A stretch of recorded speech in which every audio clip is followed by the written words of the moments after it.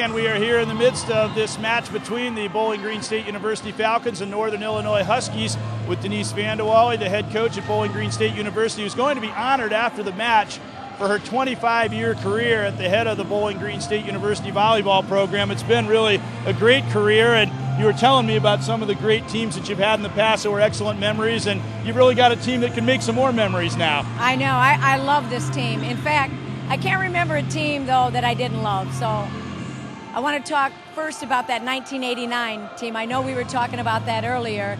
That is going to go down as one of my most special memories of my career here. Western Michigan was dominating MAC volleyball back then, and it had been our goal at the beginning of the season to beat them since we had never even gotten a game off of them. And we won on this home floor November 11th, 1989 for our first ever MAC championship. Unfortunately, they came back and beat you in the tournament, and so you weren't able to go to the NCAAs, but you made up for that two years later when you were able to qualify by winning the MAC tournament. Right. We went to uh, Wisconsin in 1991, one of the most thrilling environments to play in is at University of Wisconsin, and we were there. We fell short, but it was a great memory and a great opportunity for this program back then. You were telling me just about how your career began, and you actually played at Ball State. It had some good success in Muncie as a high school coach, and then after being a grad assistant there, you moved up to the head coaching job at Bowling Green, and you've been here ever since. I'm sure that uh, that is certainly quite a ride. I know. When I was actually, I'm an element. I have background in elementary education. I taught for five years, and I coached at Northside High School. And at, after my fifth year, I thought, wow, this is too much. I need to pick one or the other.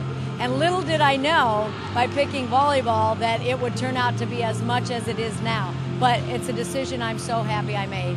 Has the volleyball changed a lot in the 25 years since you started here? Unbelievable. I, I, can't even begin to tell you what it was like when I came here in 1983. Just the whole landscape of volleyball within the state was so far behind Indiana that I wasn't used to it, and I thought maybe I'd made a mistake. But now Ohio volleyball is absolutely incredible.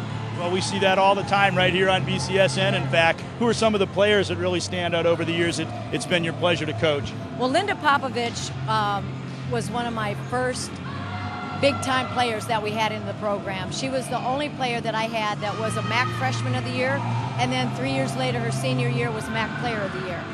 Tammy Schiller and Lisa Micah were that wonderful middle duo that I had in 89 to 92. They were phenomenal. And Katie Romick, Chrissy Gothke, who's just finished her career last year.